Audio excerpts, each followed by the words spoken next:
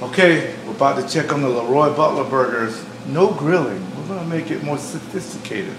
It's a big word I learned at Florida State. Well, they taught us how to read, not count. Don't worry about it. It's a long story. Okay, here we go. Yeah. You figure everybody can grill, right? Not everybody has enough to put in the oven. There we go.